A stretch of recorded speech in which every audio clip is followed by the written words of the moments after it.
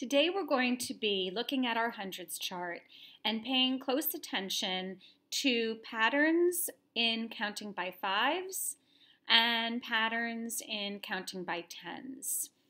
So I'd like you to get your hundreds chart out. Now we're going to be coloring it, so make sure you have another copy to do other activities with.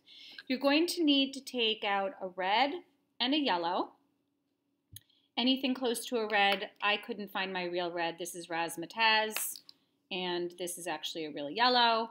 Um, but we're going to begin with counting by tens, and we're going to take the yellow crayon, and we're going to color each box skip counting. This is also called skip counting by tens. So color in the box that says 10. And then if you counted 10 more, where do you think you would end up? Let's try it. After 10, we're going to keep counting. 1, 2, 3, 4, 5, 6, 7, 8, 9, 10. That's right. So when we skip count by tens, we start at 10 and the next number we count is 20. 10, 20, 30, 40, 50. If you can't keep up with me, that's okay. Just color a little bit now and then you can go back to it later. 60, 70, 80,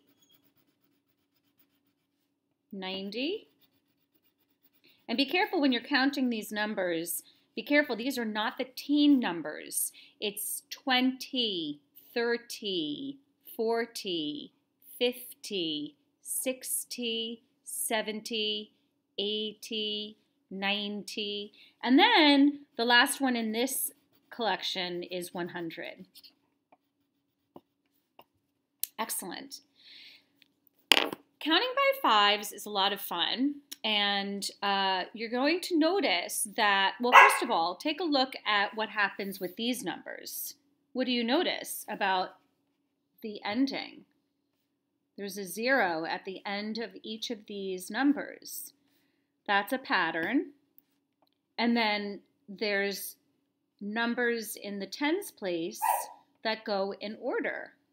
One, two, three, four, five, six, seven, 8, 9, and 10. So that's a pattern. Now we're going to take a look at counting by fives. And this may not be as familiar to you, so I'm going to count it. You join with me. And we're just going to circle those numbers.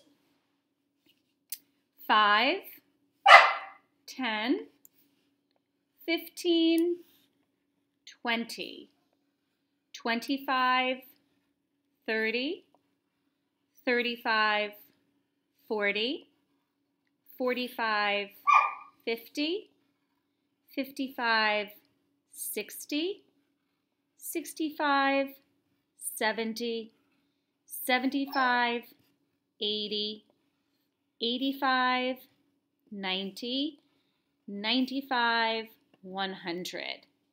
So there are some very interesting things that we notice here, right?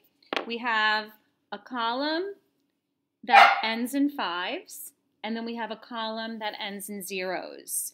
And the column that ends in zeros is our skip counting by tens.